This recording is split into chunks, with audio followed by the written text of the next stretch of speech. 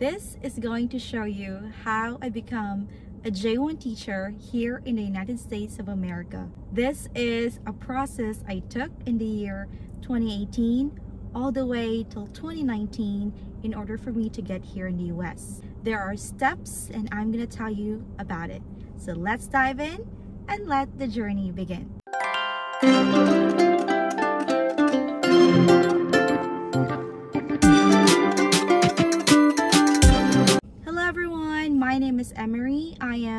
Previous school teacher here in the United States of America. This is the step-by-step -step process I took in order for me to become an international teacher here in the US. There are six things in order for me to have this journey. First, I did my research. Second, I apply.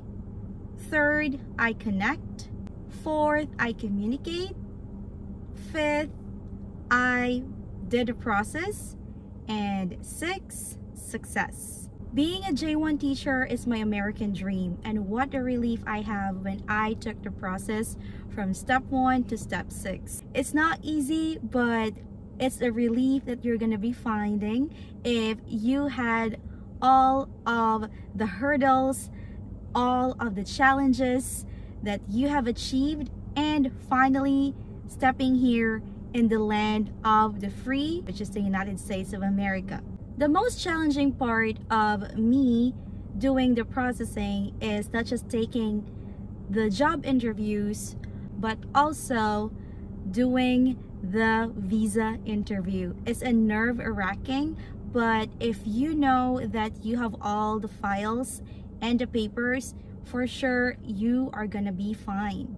I felt so relieved when I finally had all my documents ready I successfully submitted all the requirements needed and know that I am moving forward with my visa application. So for those of you who wish to achieve your American dream and visit here in the United States of America, and you are needing a hassle-free visa application process, I would really recommend to check out Filipino Visa. Filipino Visa can bring the same relief and peace of mind when it comes to visa processing application.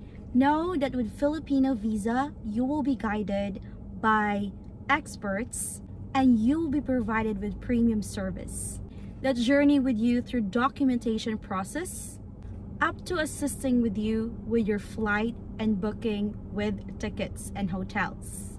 If US is your desired destination for vacation or for any other visa application, I would highly recommend Filipino Visa. Speaking of visa application, teachers that are aspiring to go here in the United States of America, if you wanted to become a J1 teacher just like me, you need to know the details.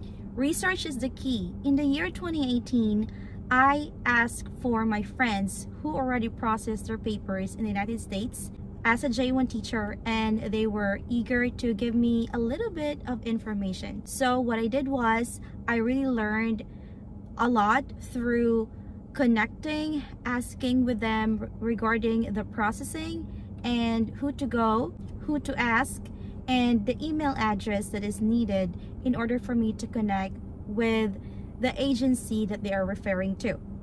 I applied in the year 2018, that was September, but then the agency that was still in the local area says that I need to wait a little bit of time because they are already starting the school year. So I would rather have the visa application and the processing in 2019. But the good thing is my name is already listed that I am very interested to become a J1 teacher connect. They were able to connect me to one of the interviewing panel which is the local one and I do believe it's in Bacolod and they were able to ask me for an interview. I set time with them. They asked me more about questions on classroom management and any other things about teaching.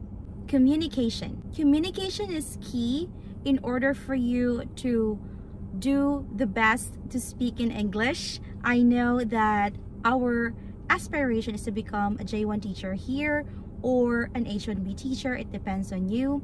But based on my experience, I was told that you have to listen to English radios or English television that are always speaking in English language. That way you will be honed and you will mimic them in order for you to at least become spontaneous with your English language. Process. The process wasn't easy, but I was able to pass the first interview locally and then after three days, that was, I believe, in March 2019, they were able to connect me to the owner of the agency that is handling my papers in order for me to move forward with the process.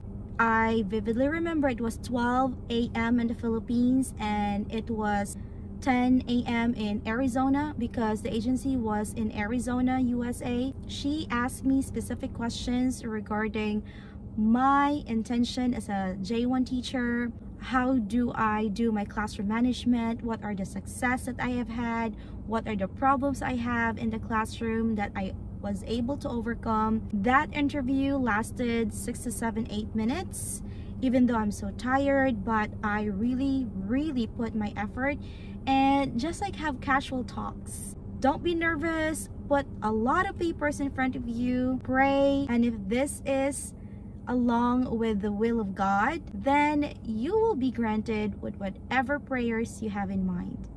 After a few days, that international interview with the agency that I have had with the J1 says that I passed the local test, I passed their agency test, so I can move forward with the training. With the training, I need to pay something upfront and we went to the hotel in Bacolod because that's where they had a little bit of convention in order for us to really know who are the aspiring teachers and what are the step-by-step -step process what are the things we have to do. Then after that I gave the agency money they call it first tranche in order for me to process just like my NBI my fingerprints that has to be sent to New Mexico or Arizona and other affiliated states that the agency was able to communicate with to send aspiring teachers from the Philippines to teach in the US through the J1 visa. After that, I was able to give them the money. I don't have my loans yet during the time. I really make sure that I have a little bit of money prior to really putting a lot of PLIs or personal loans through the bank because as I was told by my friend who is already teaching in the US, she spent 700 pesos to a million pesos in the process. I did my fingerprinting. I had the certificate that says I work with the agency. I signed the papers there. I need to pay them the second tranche, third tranche in order for me to finish with the process. Then in June 12, 2019, that's Independence Day in the Philippines, I received a phone call saying that I will have an interview during that time. I am so nervous, but I'm telling myself, Emmary, this is your first and only interview with the principal grab the opportunity because this is your dream and your American dream will really become into reality if you put the effort. So I prayed, I had a Zoom meeting with her and I'm so thankful that when it comes to the questions, it's just like casual questions because that principal is really needing help for her charter school. I will not recommend you to go to a charter school because it's like a private slash public school. But during that time, nobody interviewed me, only that principal, so I grabbed a chance. Then I was given the job offer that says you're gonna be teaching in the United States of America in Florida. I had fear because my friends were hired in New Mexico and Arizona and my teaching certificate given to me with all the processing is in Arizona and New Mexico. But then the principal says no worries about it. You can take the exams here and all. As long as you have the job offer go to the visa processing. When it comes to the visa processing I have my agency again and they had me with the process. They gave me the information. I gave them the second tranche that is the payment for me to proceed with the process. Then after that, I was told to resign because by July, it's the start of the school year and in order for me to have all the processing, I have to fly to Manila to do the visa interview. I was able to had the PLI that time, which is the private lending institution loans and all the processes is not smooth at all. It's very nerve-wracking because I already resigned but I said to myself, this is my dream. Even though during that time I'm already a teacher three and have a high salary. But then I told myself, going to America is really my dream come true. So this is it. I'll grab the chance. I'll take chances and let's proceed with the visa interview. I had my friends, we did put our money together for a hotel, which we call it chip in, in order for us to lessen the cost. We are in the same agency, we paid for the agency, we even not told our banks that we have loans there for us to go to America after our interview. So there are a lot of things going on, but here's the thing if you have your DS 2019 you just have to stick with it if you have the time pray practice and look at the mirror. Like think of the immigration officer or the consulate that he is just like your good casual friend.